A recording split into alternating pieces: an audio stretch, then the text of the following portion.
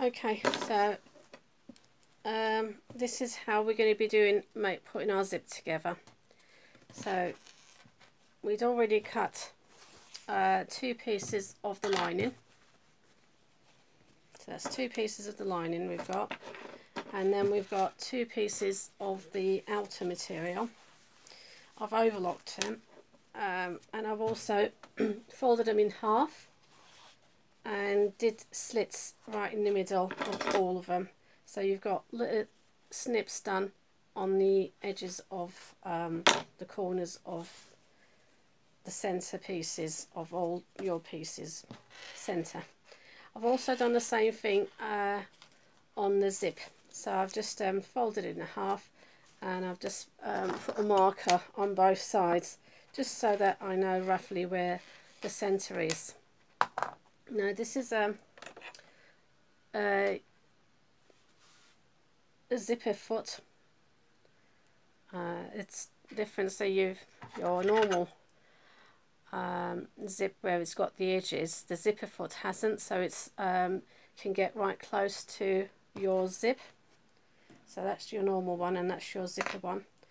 So we'll put the zipper one on our machine, switch our machine on and then what we need to do now is take one piece of the lining and one piece of the the actual material. Put that aside for a minute. And then what you want to do is get your um, outer material and put it so that you've got the front facing up. Then what you need to do is get your zip and the zip um, is the right side up is the one that you've got your knobbly bits uh, the handle of your zip. So that's your front. So with this front facing towards your material so now you've got your two um, right sides facing each other you need to put that at the bottom. Get your um, centers lined up put it across like so. And then get your um, lining. Now some lining might have a, a right way and wrong way but this doesn't really matter. So again with your lining where you've um, made a mark on uh, your middle your center have that sitting on top of your zip. Get the centers all three centers lined up so in a, way what we've done, we've done a sandwich. You've got your right side material facing your right side of your zip on top of it. Then you've got your lining on top of that. And what you want to do is then get um, pins and just pin them all down. So we'll start off with this um, middle bit. So you've got the centres all done up. Now you want to um, work all the way up and down and pin them all up. So let's do the pinning. So just pin all three together as you're going along. Um, you'll notice that the zip is shorter than my material. We're going to go ahead and stitch this uh, all the way across. Okay, so we will continue passing the zip and just finishing it off there. We'll get our machine on. And like I said I'm going to start passing the um, okay so let's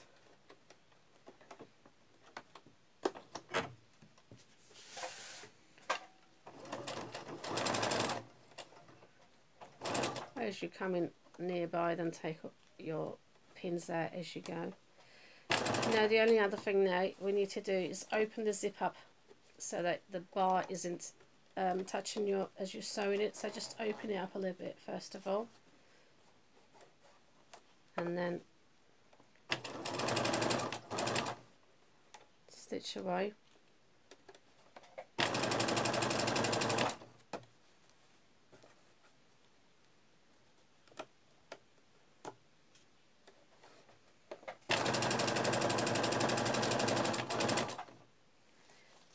you've um, stitched a little bit then you can leave your needle in lift your foot up and pull your zip back up. Right. So now we've got the zip uh, loop right on top so it's not going to affect us as we're stitching. Put your um, foot down and carry on stitching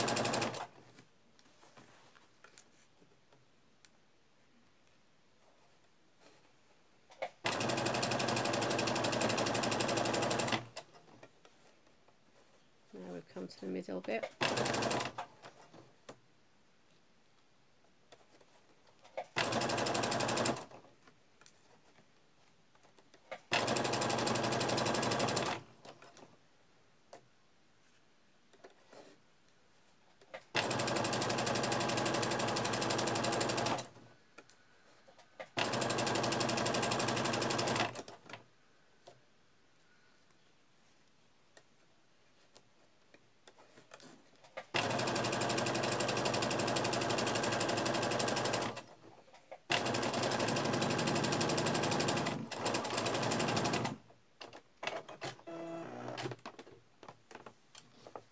Okay, so we've stitched all along, sandwiching our um, zip inside. So like I said, we had the material facing outwards, your zip, and then your um, lining. And now what we're going to do is turn and open it up and push this lining at the back and then what you've got is exposed your zip on one side like so.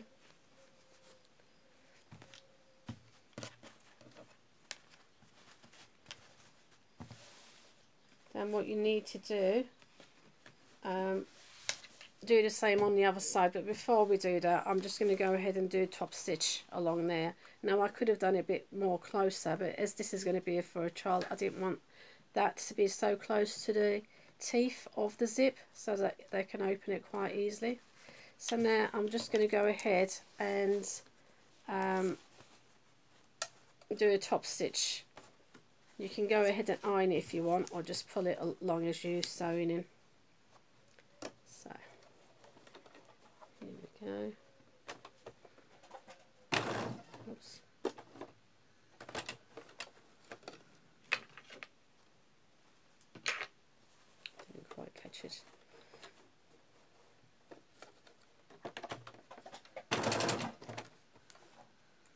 Okay, just pulling the lining and the material out, straightening it as you're um, stitching it. Let's open this up a bit to give us room.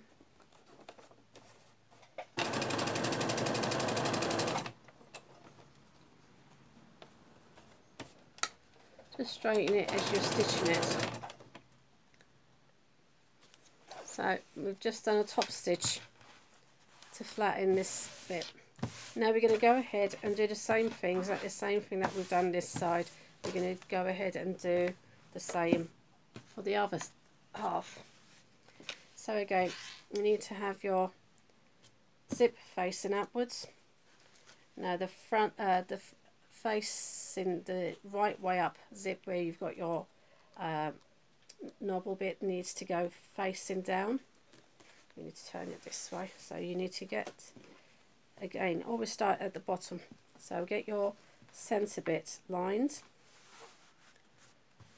And then get your lining again get to your centre bit and line it up. And once you've done that then you get your pins and start pinning it down again. So you've got that flat and then you've got your zip facing it and then you've got your lining. So now go ahead and pin it all the way up up there and all the way down the bottom before we start sewing again so now that we've done the pinning all the way down we take it to our machine again and start sewing I'm going to start this side, I think. Open up your zip so that you've got a bit of uh, room to move first. And then we'll pull the zip back up afterwards. So here we go.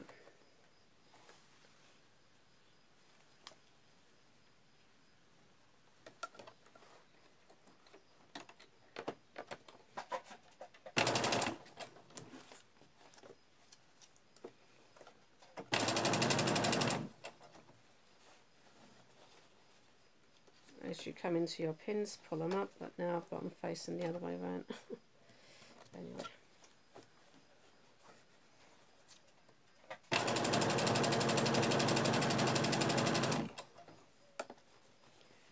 Once you've come to past the zip leave your needle in lift up your foot and pull the zip top. Oops, it's a bit stuck so I'm going to have to move the needle up to get it. It's, it's stuck, my zip. I've caught the um, lining underneath. Right, okay. So let's get the needle back in.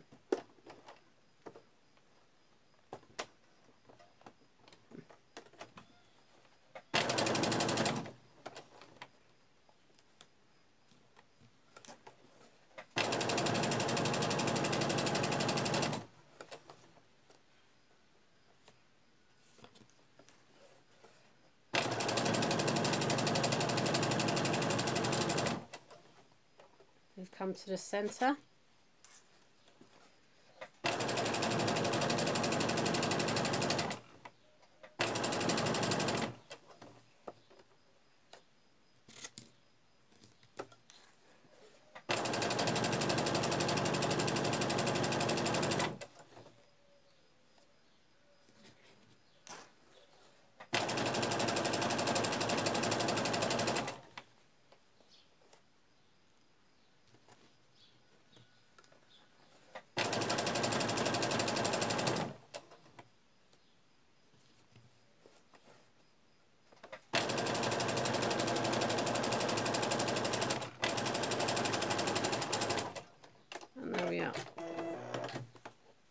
So now we've stitched both sides. We need to open it up now. And just straighten it out. So you've got, that's the back, and then you've got the front. And like before, where we've done a top stitch to flatten it, we need to do the same on this side. Now we're going to do a top stitch to flatten our zip down. Okay, so take it back to the machine. Like I said, if you want, if you're comfortable to um, go ahead and sew, uh, sorry, to um, iron it first, go ahead.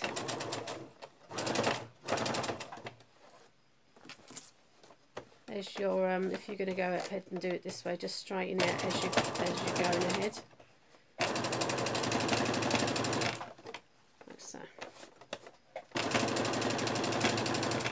So continue um, doing the top stitch. So we're almost to the end now. Just straighten it out as you go along. Pull in the back and the front tightly. Now when you get to a certain point, just pull your zip. Mind you, it didn't have any effect on it, that's fine you can do it closer but as it's a child I wanted to do it a bit leaving room on the zip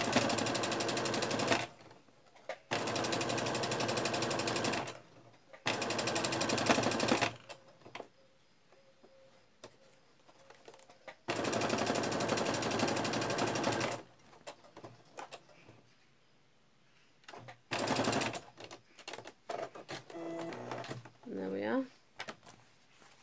one zip panel ready to be sewn onto our bag and this is how you um, put the zips like I said as you can see I have left gap between the teeth and the material. The reason being is when it's a child, you don't want it too close. You want them to be able to open it up. And this is for a little girl rucksack. So there you are. How to put a zip on your zip panels. Continue watching. Thank you.